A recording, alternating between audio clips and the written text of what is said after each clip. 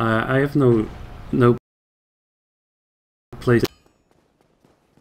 Uh, I would play Demon Souls, but I, I'm not sure if I want to get um, get a PlayStation 3.